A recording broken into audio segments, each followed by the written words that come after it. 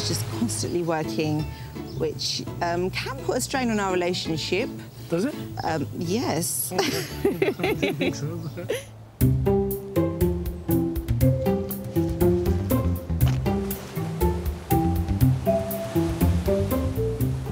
Well, the first time that I actually saw Vish was quite a few years back. I never really looked at him in that kind of way.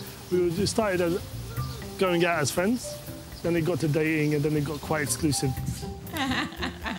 yeah, that's comfy, you know? With Vish being a self-confessed workaholic, the max we've ever spent together has been 12 hours, which is really nothing at all for a relationship that's been three and a half years.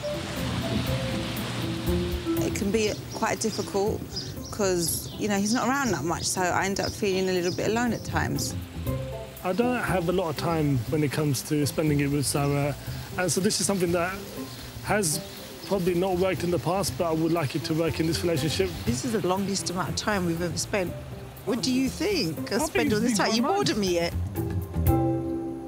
I'm hoping that from this holiday that Vish can really see what it's like spending real time with me.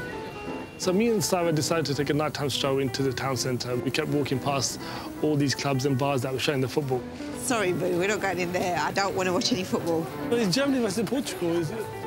It's that age-old argument. I don't even want to watch it when I'm at home. Why would I want to watch it on holiday? I kept up with the scores. I don't think Saira noticed that. Blooming football. So we went on a fishing trip, and it was um, quite funny to see Saira rock up in these uh, four-inch heels, uh, which I didn't think was practical for fishing. Aye, aye, Captain! I thought I was quite good at the fishing. I caught three fish within 20 minutes. Whoa, come in! Um, Saira had to go. She didn't catch any fish, but she wasn't really into the fishing. It wasn't really my cup of tea. It's not something I'd be in a rush to do again. All these fish talks making me hungry. Our stroll down the beach was actually really nice. I really enjoyed it. It's the first time that me and Saira have actually had a walk on the beach, which I, I thought was quite romantic.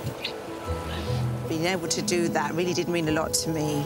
I've never been anywhere where the water's been like this. Crystal Look clear, at it. everything, isn't it? Yeah. Totally clear. You could drink it. Because Saira really enjoyed the beach, I promised her to take her to Southend, which I, I believe is quite similar.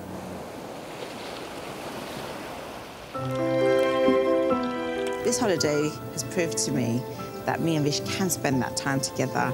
We can have fun, and we can go on a holiday and not end up killing each other.